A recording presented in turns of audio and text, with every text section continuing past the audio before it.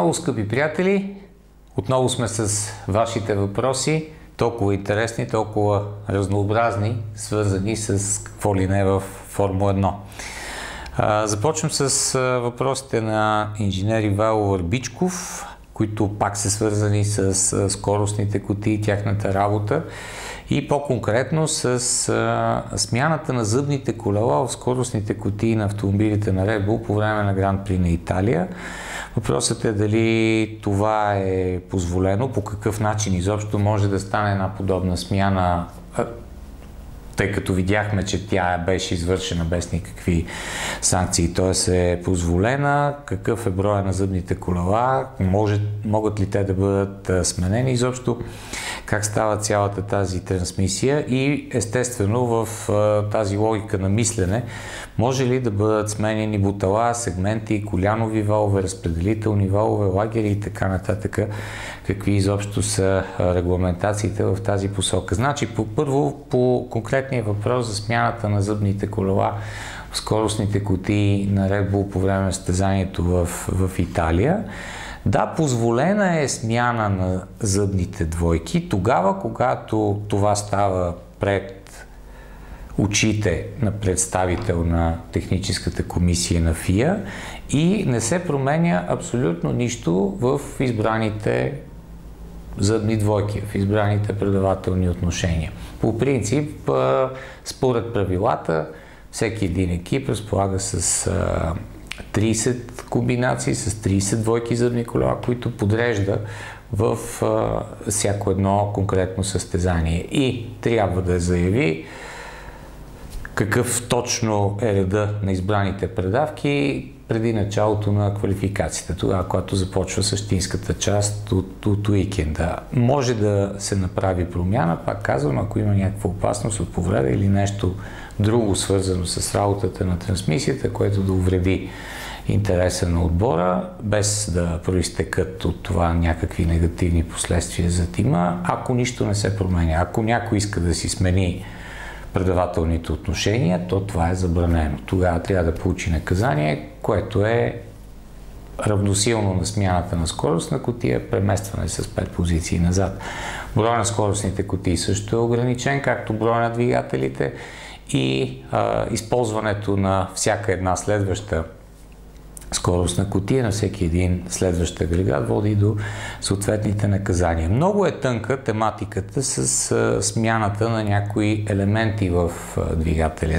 Специално тези, които е посочил Ивайло Върбичков, тяхната смяна води до сериозни санкции, защото това са елементи от самия двигател, това означава практически промяна на характеристиките на двигателя. Но всички елементи около двигателя, включително а, помпи, се сменят много редовно от отборите по време на състезателните уикенди, без обаче двигателя да се отваря. Отвори ли се двигателя, за да му се смени, примерно, коляновия вал, това означава, че отиваме на използването на следващ двигател. Просто няма, няма а, няма такъв елемент. Всичко в крайна сметка е посочено много ясно в правилата. Тук, според мен, няма как да има много големи възможности за а, така специфично тълкуване на правилата от страна на отборите. Следващата част от въпросите на Ивайло Върбичков, който е, е инженер, е, са свързани с промените в двигателите до година. Това е също една много интересна тема. Между другото, по време на е, така една среща с Ука Марморини, бях свидетел на неговия коментар по темите, които повдига и е, Ивал Върбичков, а именно подмяната на някои елементи, примерно турбокомпресора, дали ще може да се сменя до година, защото това са много важни неща кога ще се смята един двигател или а, едно цяло задвижващо устройство, защото ще има от огромно значение а, използването, добрата работа на системите ERS. Дали ако сменим батериите, или ако сменим цялата допълнителна периферия около двигателя, това ще значи, че ползваме нов двигател. Трябва да се а, потърси още малко информация. Предполагам, че до началото на следващия сезон ще има допълнителни разяснения Подмяната на кой елемент ще бъде таксувана като подмяна на целия задвижващ тракт на автомобила или ще може отново, както с зъбните двойки, да има някои а, финни възможности за допълнително използване на правилата, така че да се избегне повреда или нещо, нещо което е негативно, негативно за отбора. Темата със сигурност ще продължи да ни вълнува и до година. Вероятно ще стане и повод за някои интересни развития в хода на състезанията. Следващия въпрос е по-далеч от техниката, свързан е с, по-скоро с историята на спорта. Задава го, доколкото виждам, Харизанов, който пита а, кой според мен е най-успешният отбор в Формула 1 до сега. Ясно е, че Ферари се води за най-успешния, като може би нетен брой спечелени успехи, но в крайна сметка много големи периоди от време, от 80-те години до Шумахер, не са печелили титли, сега също не са в най-добрата кондиция.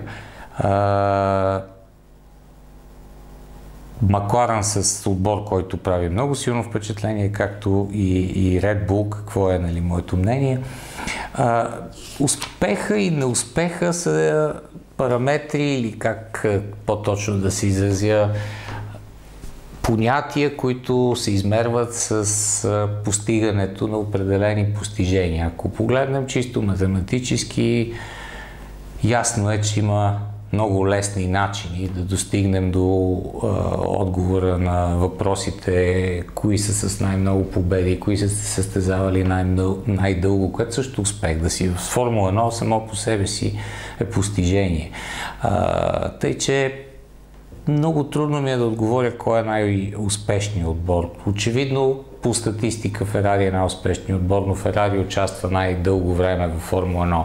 Значи, ако а, някой иска да разсъждава в тази посока, според мен е доста логично да вземе броя на участията на всеки един отбор или пилот, броя на състезанията, в които е участвал и спрямо тях да се отнесе резултатите, които е постигнал. Така съвсем, например, вие сте мога да си спомня, например, че Фанджо има приблизително 20 на победи при 50 и няколко старта. Т.е. той е спечелил примерно половината от състезанията, в които е участвал.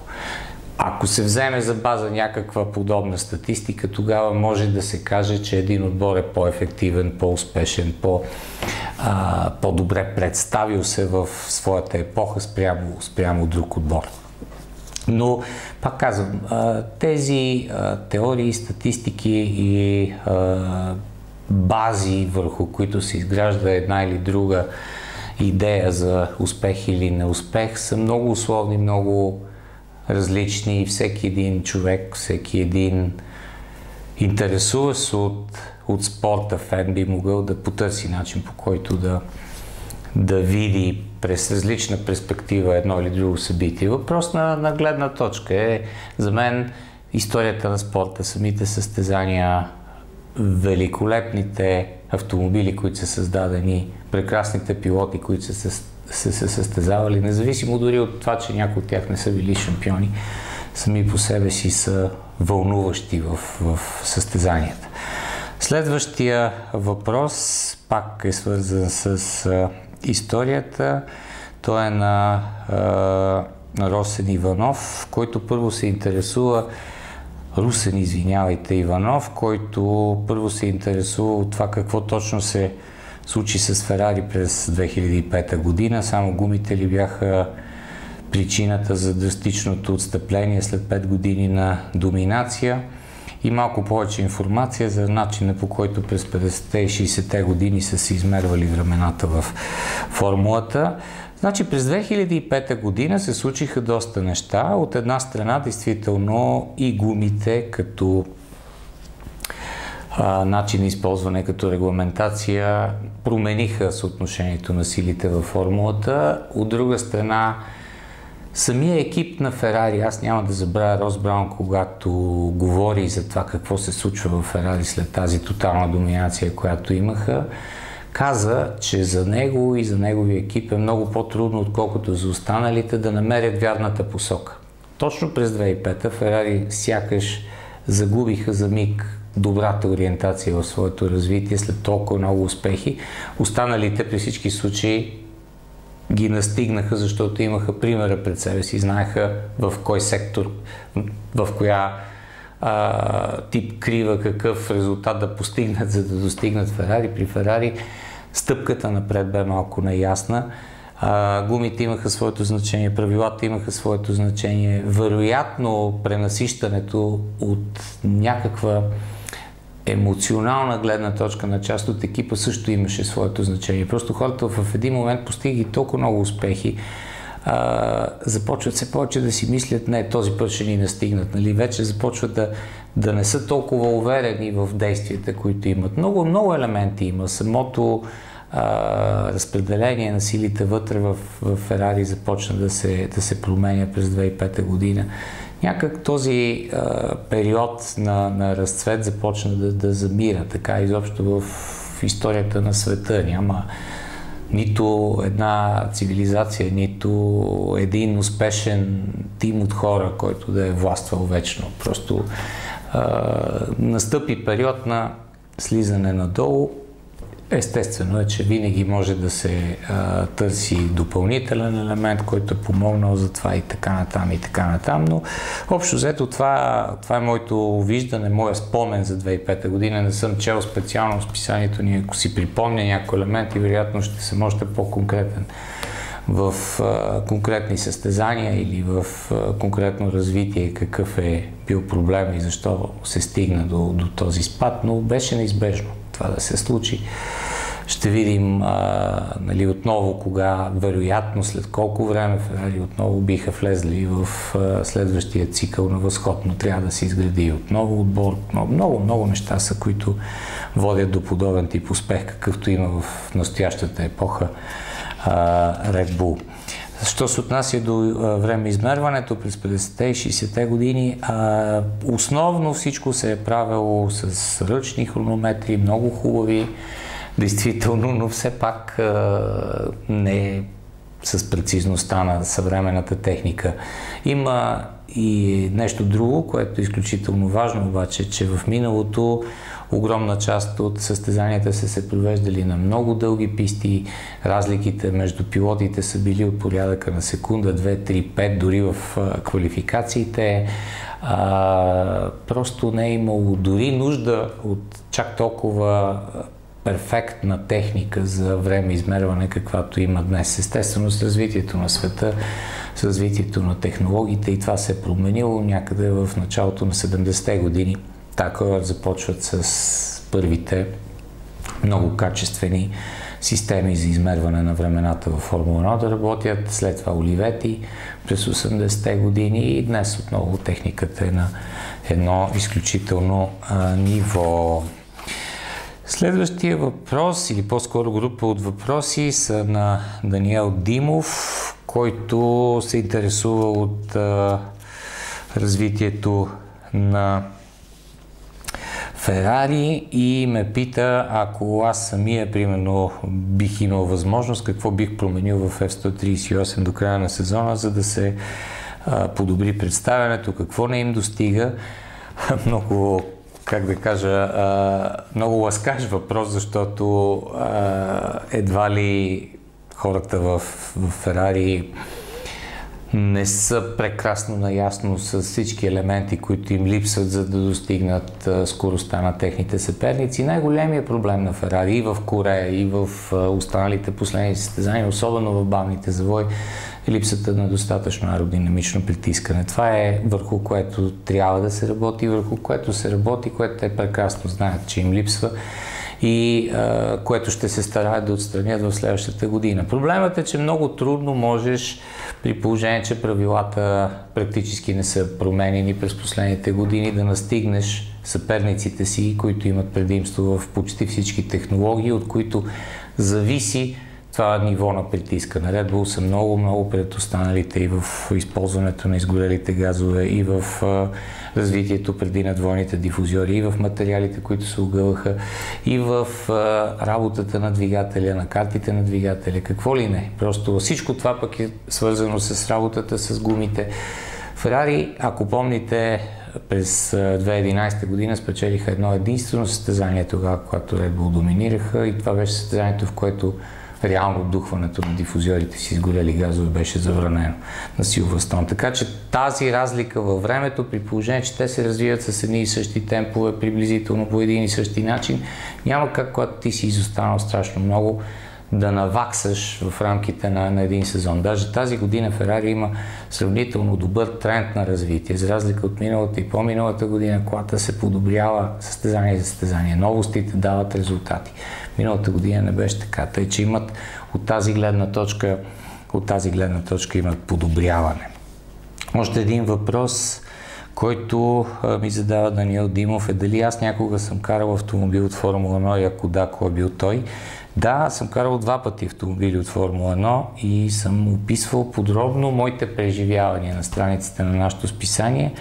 Аз съм карал Еролза на Дейман Хил, който имах възможност да, да карам, да тествам на пистата по в Франция Маникур и Реното на пак на Фернандо Алонсо на Пол Рикар което беше част от една страхотна програма на, на Рено, в която имахме възможност не само да караме самия болит, но преди това автомобили от Формула 3, Clio RS и да се изкара буквално един интензивен курс на обучение в хода на, на работата с автомобил от Формула 1. Невероятно усещане, много различно е от карането на каквото и да било друго превозно средство.